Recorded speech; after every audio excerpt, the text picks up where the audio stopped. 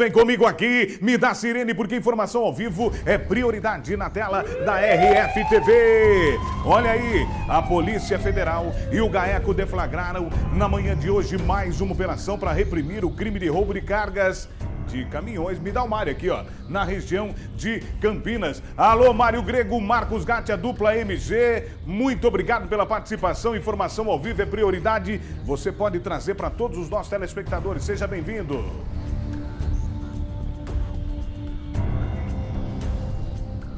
Oi, Renê, bom dia para você, para todo mundo que acompanha o Alerta Total. Mais um trabalho da Polícia Federal de Campinas no combate exatamente aos roubos de cargas e também de caminhões que acontecem aqui na nossa região.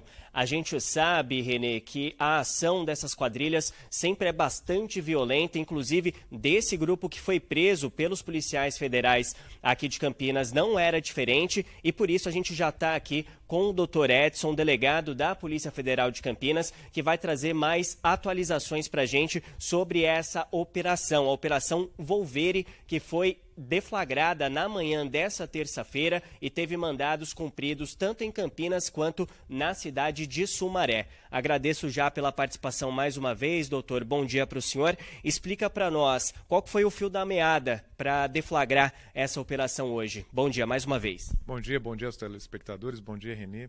O que nós temos aqui é um grupo especializado em apuração de crimes de roubo de cargas e caminhões. Então, esse grupo vem trabalhando desde dezembro de 2021 e a cada operação, a cada organização criminosa que nós desarticulamos, nós recebemos mais e mais informações, inclusive através desse material deles mesmos apreendidos. Esse é mais um trabalho desse grupo especializado que troca intensas informações aí com a Polícia Militar Rodoviária, com a Polícia Militar e com o GAECO, que é o grupo especializado do Ministério Público do Estado de São Paulo.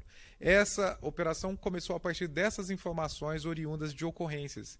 Inclusive, durante a operação, durante a investigação, nós um dos flagrantes decorreu justamente de um roubo praticado em que um dos integrantes bateu o caminhão no dia 27 de junho. Então, todas essas informações, todas essas ocorrências que são atendidas pela Polícia Militar Rodoviária, pela Polícia Militar, são trazidas a esse grupo especializado que trabalha a partir disso para a identificação dos demais integrantes naquele roubo, já que esse roubo nunca é praticado sozinho. Precisa-se de um número elevado de pessoas para abordar, para manter a vítima em cativeiro, para levar o caminhão, para desativar o rastreamento do caminhão e para desmanchá-lo. Nessa associação criminosa da Operação Volvere, nós temos aí uma associação voltada à prática de crimes de roubo de carga, com emprego de violência e arma de fogo e com o objetivo de caminhões, mais caminhões do que cargas, e para desmanche e comércio, pelo menos os indícios apontam isso, no comércio do estado de Minas Gerais. Muito bem, então, doutor. A partir dessa, dessa deflagração exatamente da operação hoje, foram nove mandados de busca e apreensão e sete de prisão. Todos foram cumpridos. Explica para nós. Perfeito. Nós tivemos mandados cumpridos na cidade de Campinas e na cidade de Sumaré. Ao todo, são nove mandados de busca e apreensão, sete deles voltados aos endereços dos investigados e dois deles a dois endereços comerciais. Um que é um bar, mercearia e outro que é uma oficina mecânica, que nós queremos saber exatamente qual a ligação desses endereços com os investigados. Dos sete investigados, dos sete, das sete pessoas que nós tínhamos mandado de prisão temporária hoje, seis foram cumpridos. Um sobre esse rapaz que já tinha sido preso em flagrante pelo crime de roubo, agora ele recebeu a ordem de prisão temporária pela associação criminosa. Uma mulher que nós identificamos, que até acreditamos, os indícios apontam para isso, de que ela tinha uma, alguma ascendência, numa liderança e também tinha uma função bem específica, que era recolher os integrantes dessa associação criminosa após a prática do roubo, onde quer que estivesse, inclusive na rodovia. E os outros quatro que estavam soltos e que também fazem parte dessa associação. Desses todos, três já tinham passagem por roubo, receptação, uso de é, porte ilegal de arma de fogo e desobediência. Um deles, inclusive, já havia sido preso em flagrante e logo após a sua soltura voltou à prática de roubo de cargas.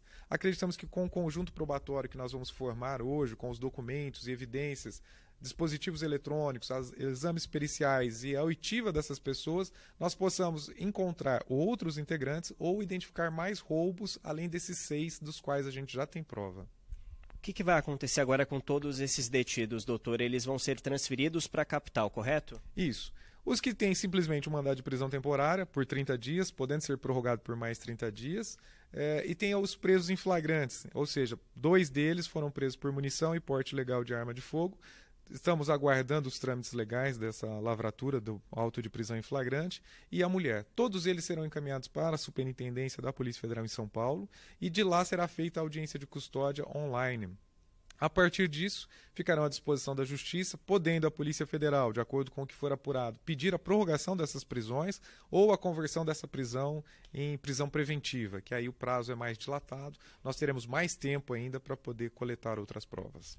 Doutor, e essa célula criminosa que vocês conseguiram chegar hoje, era uma célula que agia com bastante violência. Como que era a ação mesmo deles ali? Como que eles faziam para abordar essas vítimas? Inclusive, o doutor comentava aqui comigo, Renê, que eles levavam essas vítimas ali para áreas de matagal. De fato, era um terror psicológico mesmo com essas vítimas, né, doutor? Sim, de acordo com o registro das próprias vítimas nos boletins de ocorrência que nós tivemos acesso e juntamos aos autos, alguns foram encapuzados, outros foram colocados na parte de trás do caminhão cobertos por um cobertor, levados todos, sem exceção, para um lugar de cativeiro, que não é uma casa, uma residência, nem um lugar específico, mas simplesmente nos matagais ao entorno das rodovias ou locais mais ermos da cidade.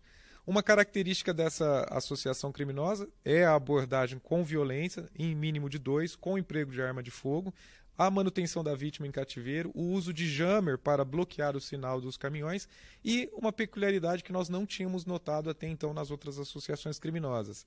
Eles têm, eles usavam um dos métodos era a abordagem de caminhões parados dentro da cidade.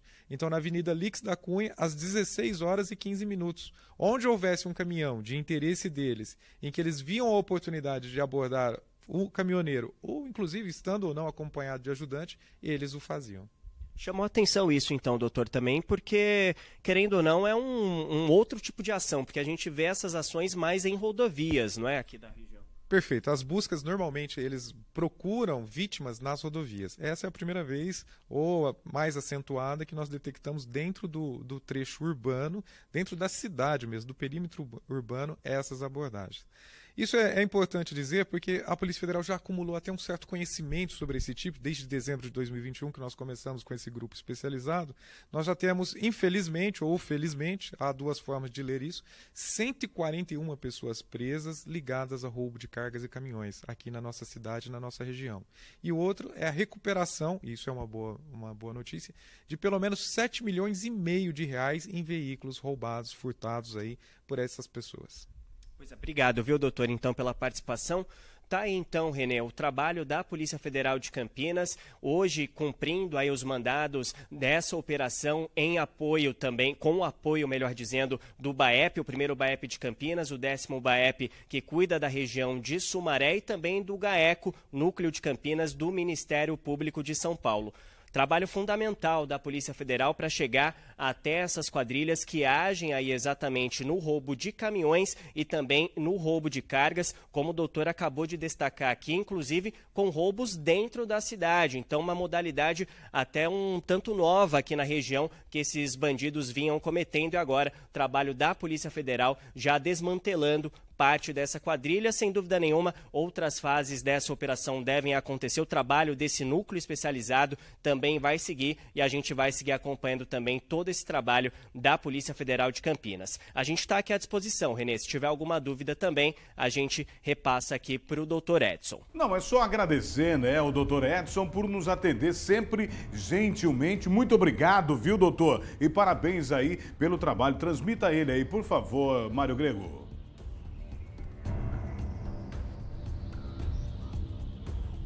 O Renê está agradecendo, doutor, a participação aqui no programa, por sempre nos atender também. E, inclusive, eu já aproveito até para emendar também já uma pergunta, porque repórter é assim, né, Renê? A gente já aproveita e deixa, então. Esse trabalho vai continuar também, né, doutor? Assim como eu disse, esse trabalho de investigação não termina agora, né? Não, não termina. Primeiro eu agradeço a vocês pelo espaço fornecido à Polícia Federal para divulgarmos o nosso trabalho e para informar a sociedade que é importante que a sociedade saiba que algo está sendo feito. Né? Então nós temos muito orgulho disso que está sendo feito e agradecemos o espaço.